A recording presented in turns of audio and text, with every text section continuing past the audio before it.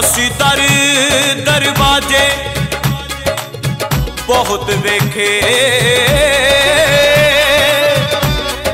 ਦਰ ਵੇਖਿਆ ਨਾ ਤੇਰੇ ਦਰ ਵਰਗਾ। ਸਾਡਾ ਪੱਕਾ ਯਕੀਨ ਹੈ ਪੌਣਾ ਹਾਰੀ? ਹੋਣਾ ਸਵਰਗ ਵੀ ਨਹੀਂ ਤੇਰੇ ਦਰ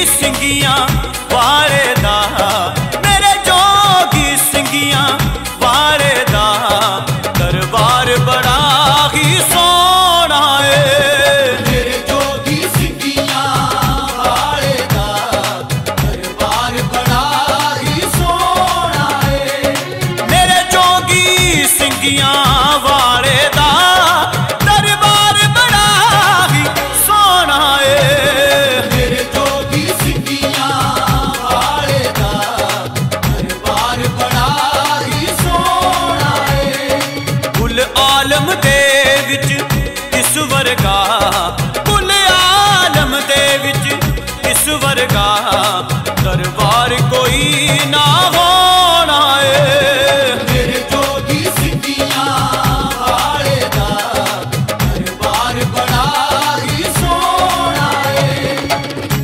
ਭਗਤੋ ਸ਼ਾਤਲਾਈ ਬੜੀ ਹੀ ਪਾਕ ਤੇ ਪਵਿੱਤਰ ਧਰਤੀ ਏ। ਜਿੱਥੇ ਬਾਬਾ ਜੀ ਨੇ ਮਾਤਾ ਰਤਨੋ ਦੀਆਂ 12 ਸਾਲ ਗਊਆਂ ਚਰਾਈਆਂ। ਇੱਕ ਦਿਨ ਉਹਨਾਂ ਗਊਆਂ ਨੇ ਜ਼ਿਮੀਦਾਰਾਂ ਦੀਆਂ ਸਾਰੀਆਂ ਫਸਲਾਂ ਉਜਾੜ ਦਿੱਤੀਆਂ। ਤੇ ਜ਼ਿਮੀਦਾਰ ਮਾਤਾ ਰਤਨੋ ਕੋਲ ਬਾਬਾ ਜੀ ਦਾ ਉਲਾਂਭਾ ਲੈ ਕੇ ਆਏ ਤੇ ਗੁੱਸੇ ਵਿੱਚ ਮਾਤਾ ਰਤਨੋ ਨੇ ਬਾਬਾ ਜੀ ਨੂੰ ਬੜਾ ਮੰਦਾ ਚੰਗਾ ਬੋਲਿਆ। ਇੱਥੇ ਤੱਕ ਕਿ ਲੱਸੀ ਅਤੇ ਰੋਟੀ ਦਾ ਵੀ ਮੇਣਾ ਮਾਰ ਦਿੱਤਾ।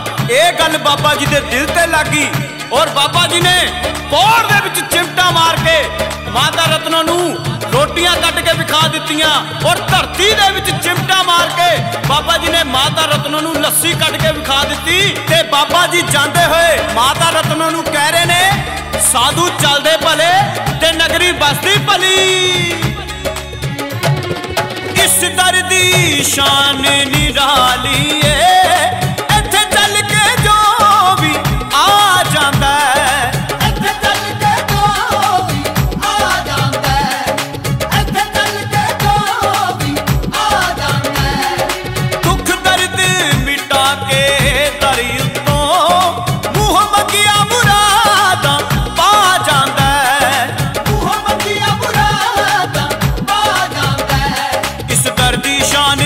ਮੁਰਾਦਾਂ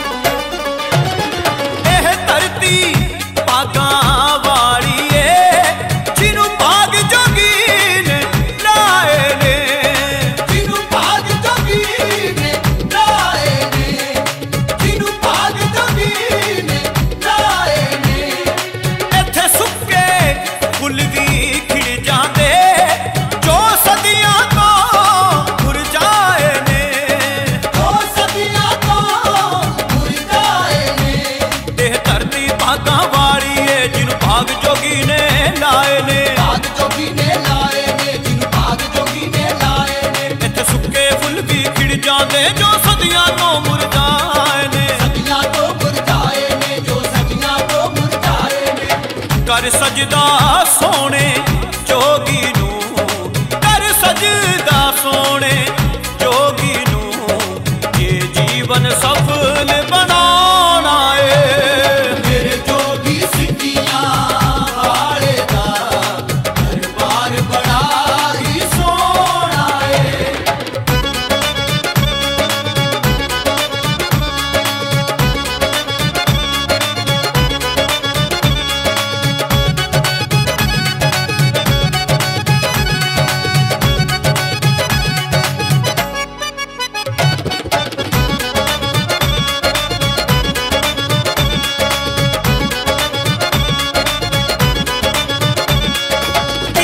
ਇਸ ਤੇ ਲਿਖਾਂ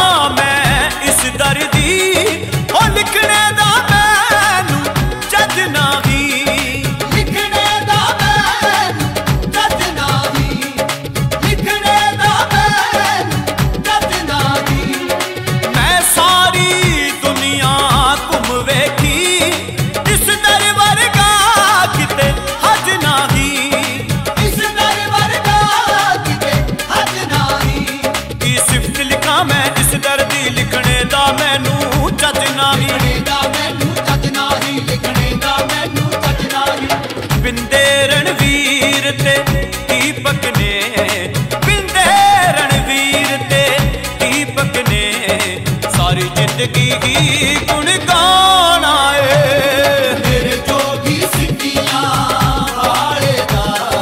ਦਰਬਾਰ ਬੜਾ ਹੀ ਸੋਹਣਾ ਏ ਕੁੱਲ ਆਲਮ ਦੇ ਵਿੱਚ ਇਸ ਵਰਗਾ ਕੁੱਲ ਆਲਮ ਦੇ ਵਿੱਚ ਇਸ ਵਰਗਾ ਦਰਬਾਰ ਕੋਈ ਨਾ